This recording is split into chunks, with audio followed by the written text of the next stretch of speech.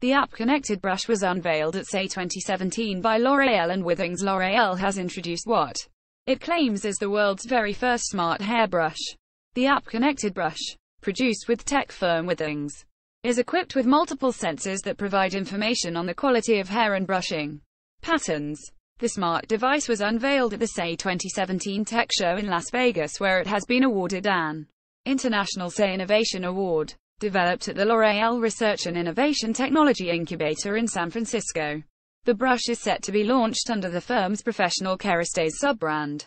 The brush, officially named the Kerastase Hair Coach powered by Withings, features a microphone that listens to the sound of hair brushing in order to identify patterns that can give insights into manageability, frizziness, dryness, split ends and breakage.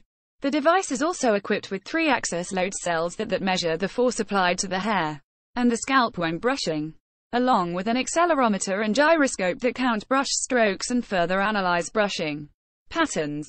Haptic feedback is used to tell the user if they are brushing too vigorously.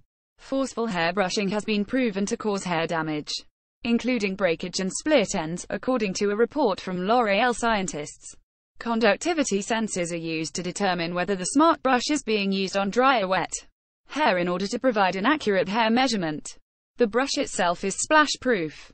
The sensors feed back data to a dedicated mobile app over Wi-Fi or Bluetooth. This also takes into consideration outside factors such as humidity, temperature, UV and wind, which can also have an impact on hair.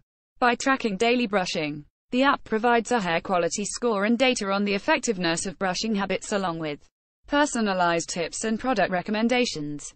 Technology is transforming consumers' daily beauty routines and smart devices have